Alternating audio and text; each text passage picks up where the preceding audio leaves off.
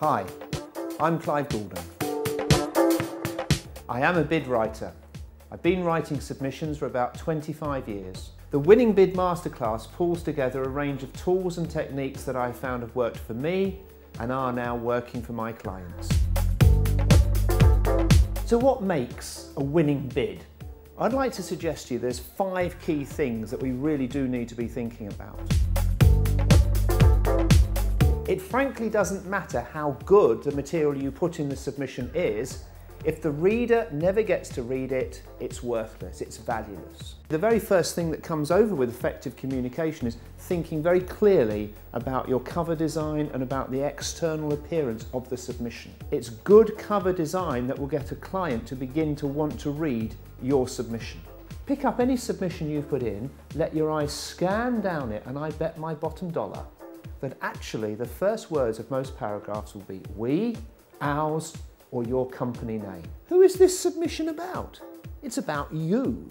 It's actually not about the client at all, is it? So there's lots of things that we've actually really got to get to grips about what makes effective communication. All too often we talk about our needs. We need this business. We need to use our people. But actually, what's the client's needs? This service that you're bidding for, this project that you're bidding for, how does it fit into the client's business strategy, to the client's vision, to the client's business objectives? Have you actually demonstrated you've understood really what the big issues are for them at all here, or have you only thought about yourselves? People give me submissions to read, and whenever I read them, I always say, Well, tell me about the client, tell me about who you wrote this for. And most of the time, I close this submission and say, Well, somebody's worked really hard to write this but actually, if I was the client, the one thing you haven't really done for me is to answer the so what, what's in it for me question. And if there's anything in the submission that doesn't answer that question, well, put a red line through it and get rid of it.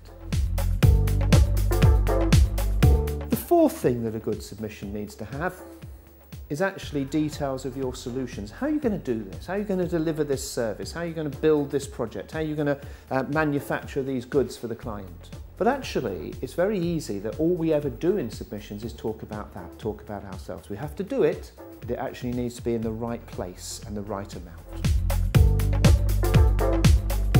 The decision maker or the decision makers on the client side want confidence, ultimately, that you can deliver this. You're asking this client to make a big commitment, to spend money with you.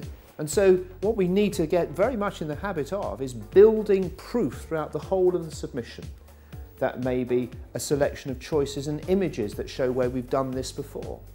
It may be a selection of little mini case studies. It may be testimonials. It may be a few little tables and graphs with some key performance indicators demonstrating your capability to deliver. But we've ultimately got to end this submission by giving the client confidence in our ability to do this for them. Winning Bid Masterclass is about totally changing the way your organisation thinks about submissions. It's about writing submissions that are about the client, not about you. It's about submissions that actually the client can pick up and very, very easily understand what's in it for them.